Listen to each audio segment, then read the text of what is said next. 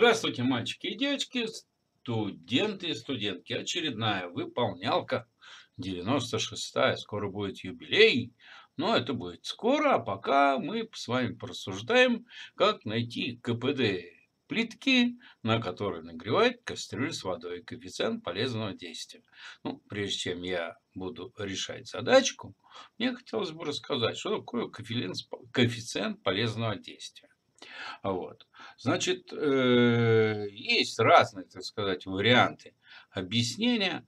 Я расскажу самое простое, на мой взгляд, опять-таки. Вот мы хотим сделать что-то, да? Вот, я хочу что-то сделать, решить задачку, например, да? Вот, это, так сказать, моя задача. Вот, решить задачу, моя задача решить задачу. Все. Ну вот. А для этого, как говорится, нужны некоторые, так сказать, вещи, ну, прежде всего, мозги.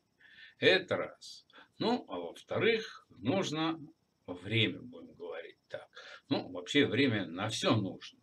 Ну, давайте себе представим такую ситуацию, я стал решать задачу. Вот. Моя задача, еще раз говорю, решить задачу. Это то, что мне необходимо сделать. Вот. И в то время, когда я решаю задачу, мне начинает кто-то звонить, кто-то начинает мешать, что-то пошло не так, вдруг мне захотелось пойти в туалет, вдруг мне захотелось э, попить чайку или выпить чашечку кофе и так далее, и так далее, и так далее. В общем, что я хочу сказать. То есть, то, что я хотел бы сделать, начинает растягиваться на какой-то большой промежуток, может быть, времени. Вот. И я при этом совершаю ну, совершенно ненужную работу. Но она есть, я никуда от нее не денусь. Так вот, то же самое и здесь. Вот если мы поставим плитку, на плитку поставим кастрюлю, в кастрюлю нальем воды, и моя задача что сделать? Нагреть кастрюлю с водой. Вот это вот моя задача. Причем, когда решается задача на нагревание, как правило, как правило, ведется разговор про воду, правильно? Вот. И в данной ситуации мы будем нагревать воду. Но вода-то, елки-палки, находится в кастрюле. Кастрюлю -то тоже нужно нагреть, потому что кастрюля сделана из какого-то, будем так говорить, материала. Поэтому эту кастрюлю нужно, во-первых, нагревать. Кроме всего прочего.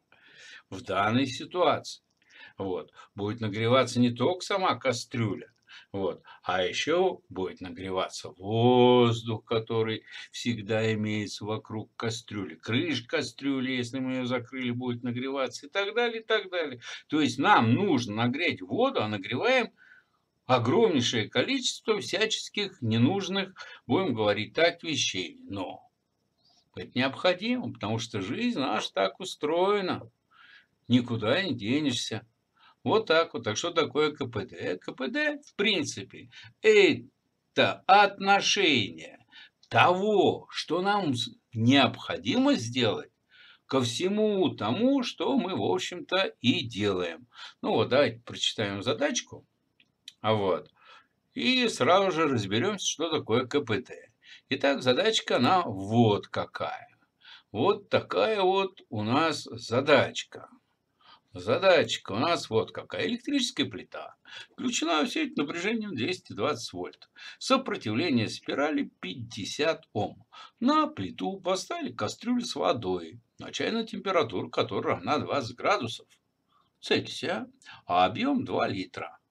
Чему равен КПД плитки, если через 40 минут 400 грамм э, воды выкипело? Ну, нифига себе, плитка 40 минут, да? Вот, 2 литра воды нагревать.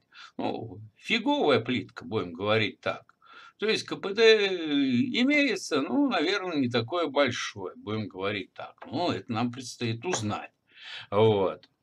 40 минут 2 литра воды нагревать. Кстати, про 2 литра воды я сразу же вспоминаю. Так, так, так, так, как 2 литра воды. Помнится, Василий Петрович, учитель физики, говорил, нет, у меня был не Василий Петрович, у меня был Максим Максимович. Вот. учитель физики говорил, запомните, блин, нафиг. 2 литра воды. Это объем воды. Но у 2 литров воды есть масса, равная 2 килограммам. Вот так вот. Так что я запомнил на всю жизнь. Есть вода. Если у нас имеется литр воды, значит э, литр воды имеет массу 1 килограмм. 2 литра воды имеет массу 2 килограмм. 5 литров воды имеет массу 5 килограмм и так далее и тому подобное. Вот. Ну что, а теперь запишем условия и потом сразу же сообразим, что нам нужно искать. Ну, вернее, не что нужно знать. Мы знаем, что нужно искать. Нужно искать КПД. А как найти КПД, будет известно только после того, как мы запишем условия задачи. Ну вот, условия задачи записал. И, кстати говоря, посмотрел по справочникам все необходимые данные для того, чтобы эту задачку успеш, успешно решить. Ну, чокнуться можно, елки-палки. Данных-то сколько, ё-моё. Но в этом ничего страшного нет. Кстати говоря, запомните, дорогие мальчики и девочки, если есть возможность собрать всяческую информацию, вот, ее можно собирать. Вот. Вдруг пригодится, может и не пригодится, не знаю, но в той задачке, которую я буду решать, то есть в этой задачке, да, вот все данные нам будут нужны. Ну, давайте проедемся потихонечку, что каждая буквочка означает. Итак, U 220 вольт, а R 50 Ом, это сопротивление спирали у плитки, Т нулевое в градусах Цельсия начальная температура воды – и смотрите, что нужно было сделать в задачке. В задачке нужно было сделать, сделать, что нужно было сделать. Да? Вода начинает выкипать через 40 минут. То есть ее нагрели прежде всего до температуры кипения. А температура кипения воды 100 градусов Цельсия. Задачка идеальна. На самом деле никогда дойти до температуры 100 градусов Цельсия невозможно. Ну, в принципе, да, вот мы говорим о том, что температура кипения воды 100 э, градусов Цельсия. Значит, через 40 минут, через 40 минут стало известно, что 0,4 килограмма воды выкипело, вот, а масса выкипевшей воды 400 грамм, 0,4 килограмма. А нагревали-то сначала 2 килограмма воды, который обозначил большой буквой М. Поскольку мы воду нагреваем, значит нам нужно знать удельную теплоемкость воды 4200 джоуль, деленный килограмм градус Цельсия, и удельную теплоту парообразования. Это тоже необходимо знать. Вот. Ну, вот я записал. Вот. Или удельная теплота и испарения. Ну, скорее всего, удельная теплота парообразования. Вот такая вот штука. Эти вот все данные нам известны. Теперь, что такое КПД? Обозначаем КПД греческой буквой «это».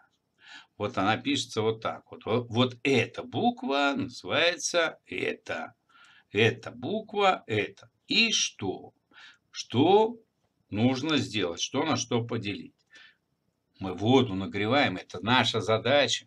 Как я говорил в самом начале, нагреть что? Воду. Поэтому для этого потребуется количество теплоты, которое необходимо конкретно на нагревание воды. А кто работает для того, чтобы эту воду нагревать? Плитка работает. Значит, плитка совершает работу Значит, я должен Q поделить на А. Ну и обычно КПД выражается в процентах, умножим на 100%. То есть я изначально знаю, что Q будет меньше А. То есть количество теплоты, которое необходимо на нагревание воды будет меньше той работы, которую плитка совершает. Поэтому, решая задачу, если вы вдруг получили, что Q больше, чем А, значит, что-то пошло не так. Нужно остановиться, посмотреть, что мы сделали, так сказать, неправильно. Ну вот все. Теперь, смотрите, вода находилась при температуре 20 градусов Цельсия. То есть, что нужно сделать? Ее нужно нагреть. Поэтому Q будет равняться C, M и на изменение температуры. Ну, понятно, изменение температуры будет равняться 80 градусов Цельсия. Так, так. Вот. Нагрели ее, а что дальше? Продолжаем нагревать. А она, блин, не нагревается, температура все время 100 градусов Цельсия остается. Значит, на что-то тепло, которое получает вода, начинает расходоваться. Вот она, она расходуется. На что? На парообразование. Пар начинает из воды, так сказать, выходить. Вот. И наша задачка будет решаться до того момента, пока 400 грамм э, воды не выкипит, то есть не превратится в пар. Поэтому нам нужно еще найти количество теплоты, которое пойдет на превращение какого-то количества воды в пар. То есть вот здесь вот я сделал маленькую ошибочку, потому что у нас CM большое, 2 килограмма воды. А сейчас я должен что сделать? 400 грамм испарить. То есть L, M маленькая, где M маленькая, это 400 грамм воды. Поэтому общее количество теплоты будет равняться сумме Q1 плюс Q2. Ну вот все. Что нужно делать? Подсчитывать. Итак, Q1 будет равняться 4200 умножаем на 2 килограммчика и умножаем на 80. Вот. Берем калькулятор и считаем. Ну вот, я подсчитал. Получил 672 тысячи джоулей. Джоулей получил. Вот так вот. Смотрите, я здесь не пишу, так сказать, данные. Вот. Ну, я думаю, что будет понятно, почему получается джоули. Вот. Теперь давайте посчитаем, что такое Q2. Q2 это у нас 2 миллиона 260 тысяч джоулей на килограмм умножаем на 0,4 килограмма. Ну, понятно, килограмм килограмм сократится, джоули останутся. А вот, так, сколько получается? А получается у нас 904 тысячи джоулей. Ну и тогда общее количество теплоты это Q1 плюс Q2, то есть вот это вот нужно просто-напросто взять и сложить. Получили 1 миллион 576 тысяч джоулей. Отлично. Ну, а теперь что? С количеством теплоты Закончили, плитка работает, работает, нагревает и так. Работа электрического тока.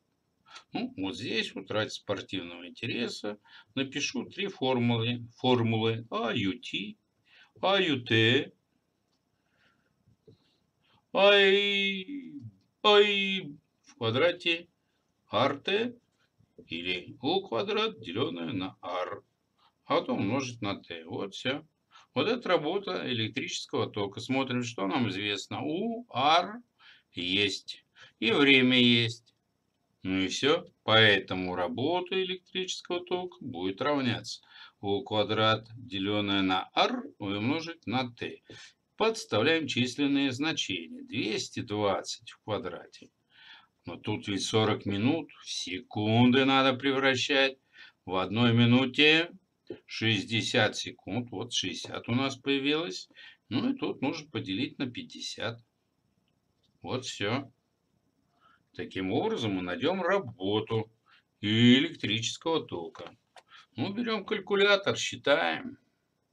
Вернее, я считаю. А вы переписываете. Или просто говорите, ну да, понятно, сейчас посмотрим, сколько получится. Миллион раз говорил. Ну, возьмите калькулятор. Возьмите, посчитайте, я чуть-чуть подожду.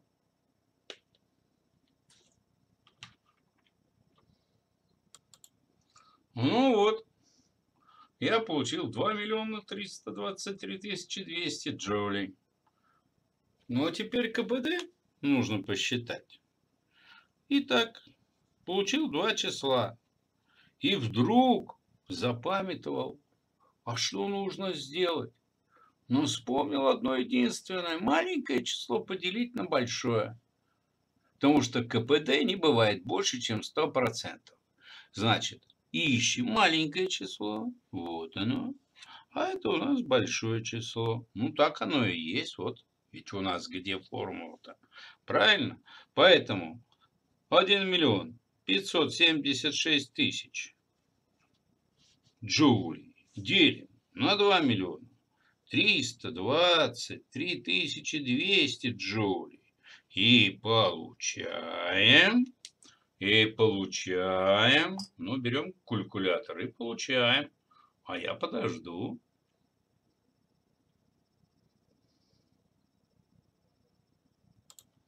Ну, вот я получил 0,678. А сколько это будет в процентах? А в процентах то будет 67,8%. Вот так вот, электрическая плитка. Вот, 67,8%. Ну, как говорится, что имеем. Ну вот все, вот так вот решается эта задачка дорогие мальчики и девочки. Ну, а мне остается только напомнить, что вы учите физику на канале Элигор. Элигор! Поэтому, если вы еще не записаны на мой канал, на мой канал Элигор, пожалуйста, запишитесь, буду вам очень признателен и благодарен. Ну, не забудьте поставить лайк, тоже буду очень признателен и благодарен. Все, всего доброго, до новых встреч. Thank you.